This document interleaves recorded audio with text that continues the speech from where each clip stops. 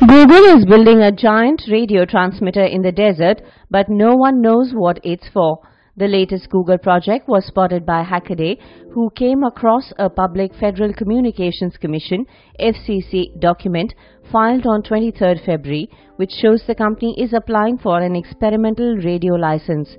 The document doesn't reveal too much about the shadowy project since Google requested the details be kept from the public in order to protect their commercial interests.